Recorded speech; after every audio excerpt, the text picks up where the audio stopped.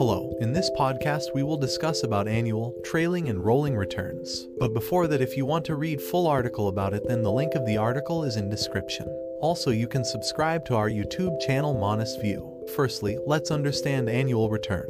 The annual return of an investment product shows its performance for the calendar year so you can check the consistency in the performance of an investment product if you check the annual returns year after year. And the best part is that the annual return calculation is a fairly simple process. You need to find the investment price at the end of the current calendar year and the previous calendar year. Next, subtract last year's price from the current year's price. Then divide the change in price by the last year's price. For example, price of a security A at the start of the year is 100 and at the end of the year is 110 then annual return will be difference between start and end year price divided by price at the start year. So in this example annual return will be 10% per annum. Now let's see annual return limitations. The annual return has some limitations as well. For instance, a fund could beat its benchmark for most years, yet the fund could be underperforming during the overall period under observation. It happens because you are looking at multiple years of annual returns, and it is difficult to estimate net returns over a period. Simply put, multiple years of annual returns do not show the impact of compounding, so you do not get to see the return a fund has accumulated over the period. On the other hand, trailing return helps you measure the average annual return between two dates, so we use the compounding formula to calculate this return.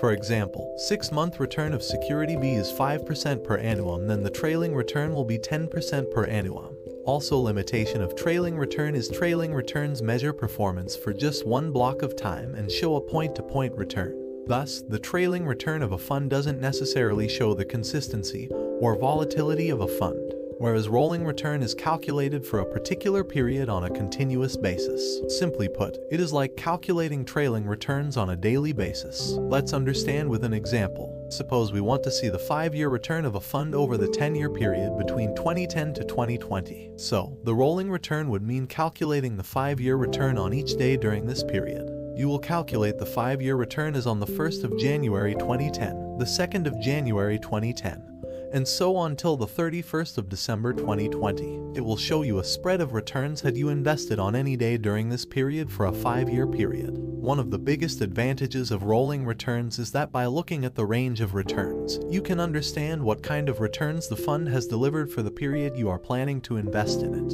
And in some way, you can understand the probability of earning such returns going forward. All three types of returns, annual, trailing, and rolling, stand out on different fronts, so they can be useful for different purposes. For instance, annual return and rolling return can be useful to gauge the volatility or consistency in a fund's performance. The trailing return may not show these aspects, but it is useful to show the compounding effect on returns. Now let's discuss what is bottom line for this podcast. To sum up, no single return should be your sole focus as an investor. Narrowly focusing on the rolling, trailing, or annual returns would mean you are losing sight of the big picture. Ultimately, you need to consider annual, trailing, and rolling returns to make prudent investment decisions. So, thank you guys for joining with us for this podcast.